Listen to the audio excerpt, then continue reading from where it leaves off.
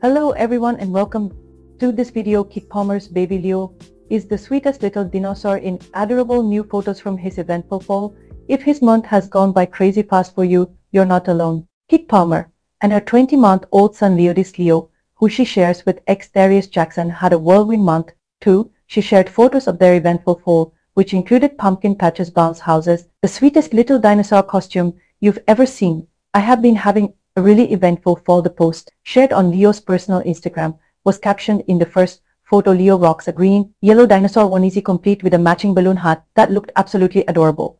My balloon crown that I got at a trick or treat event at the Atlanta Museum, my mommy, only let me wear it for a little while. Balloons and babies give her anxiety. It was captioned totally understandable mama.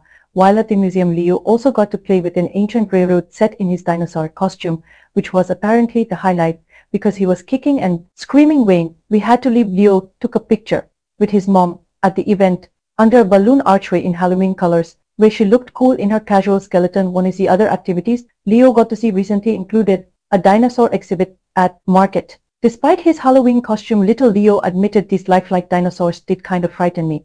Later he played like a chef in a tiny chef's hat and apron went to the pumpkin patch with his mama and dressed up like a police officer to jump around in a bounce house. Officer Leo, here to the rescue, the caption added, he's one busy kid. He has that look like I want to do all the things. If I sit still long enough nap, it is handsome little Leo, one person commented. Someone else said, Leo outside more than me, look at my internet. Nephew, he's living his best life, I love this. Another commented Palmer, recently appeared on the cover of People to promote her second memoir, Master of Me Leo was present at the photo shoot where he looked adorable in his little blue cardigan and khaki pants holding a lemon and blowing bubbles while in his mom's arms. Thanks for watching.